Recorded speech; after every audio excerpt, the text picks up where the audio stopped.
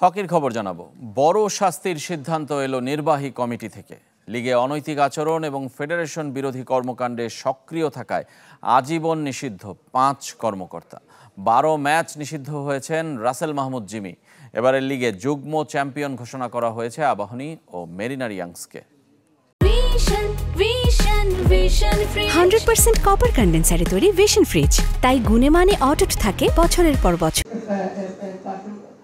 মাঠের হকির গুরুত্বপূর্ণ সিদ্ধান্ত আবারও নির্বাহী কমিটির টেবিলে।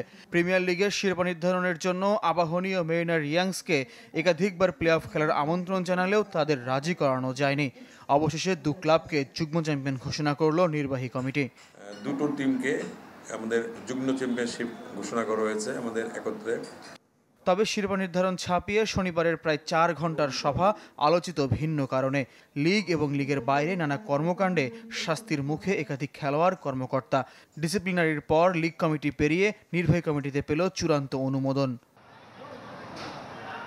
শৃঙ্খলা ভঙ্গের দায়ে মোহামেডান তারকার রাসেল মাহমুদ জিমিকে দশ ম্যাচ নিষেধাজ্ঞার প্রস্তাব ছিল।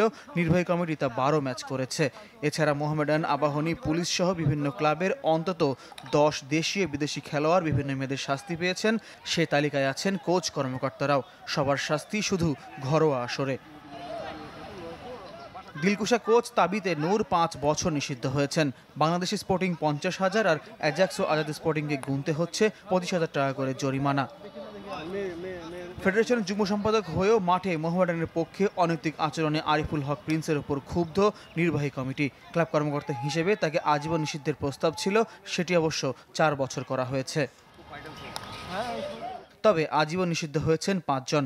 জাতীয় দলের সাবেক কোচ এবং মোহামেডানের উপদেষ্টা কোচ গোবিনাথন কৃষ্ণমূর্তির সাথে মোহামেডান পরিচালক জামাল রানাও আজীবন নিষিদ্ধ। আর ফেডারেশন বিরোধী কর্মকাণ্ডে সম্পৃক্ত হওয়ায় সাজা তিন সংগঠকের। সাজেদ আদেল তারেক আদেল এবং জহিরুল ইসলাম মিতুল সারা জীবন হকি কার্যক্রমে নিষিদ্ধ। স্ট্রিক্টলি আমরা বোঝাতে চাচ্ছি বাংলাদেশ হকি ফেডারেশন কোনো অনিয়মকে ছাড় দেবে না। আমরাও সামনে প্রতিজ্ঞাবদ্ধ।